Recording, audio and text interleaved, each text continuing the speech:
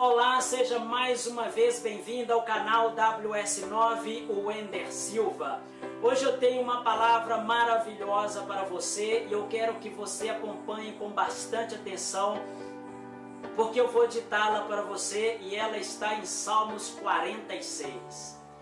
Deus é o nosso refúgio e fortaleza, socorro bem presente na angústia, pelo que não temeremos, ainda que a terra se mude e ainda que os montes se projetam para o meio dos mares, ainda que as águas rujam e espumem, ainda que os montes se abalam pela sua braveza, há um rio cujas correntes alegram a cidade de Deus, o lugar santo da morada do Altíssimo.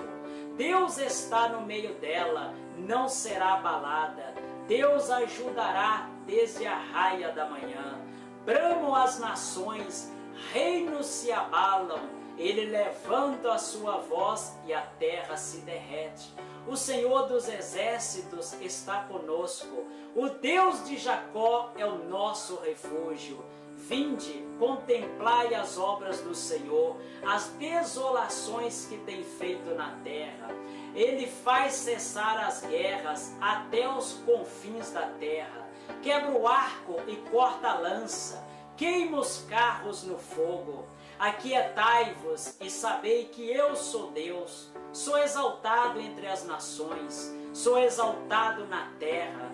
O Senhor dos exércitos está conosco, o Deus de Jacó é o nosso refúgio.